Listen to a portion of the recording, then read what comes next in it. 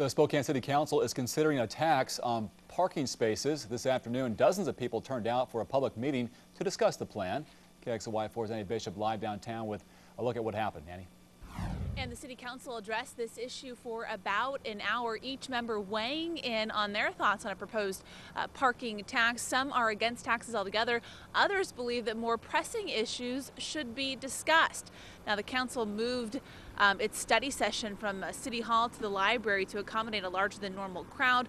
The proposed tax is still in its preliminary stages. It would increase uh, the parking tax on lot owners. Many businesses, however, fear the tax will be passed down to the shoppers, and if they pay more for parking, some believe they would spend less uh, in their shops. Now, Bob Apple believes the tax could actually help fund improvements to the downtown infrastructure, such as uh, downtown streetcars, and in turn attract more shoppers. Now, Council President Joe Shogan says the tax would not help make up for the $12 million uh, budget shortfall the city is currently facing.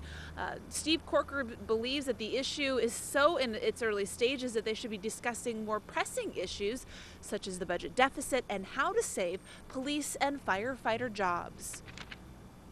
If we turn our study sessions into public hearings, we're going to slow down our ability to do our jobs in a way that scares me.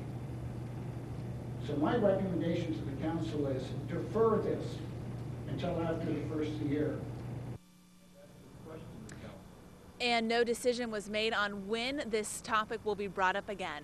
Reporting live, Annie Bishop, KXLY 4 HD News.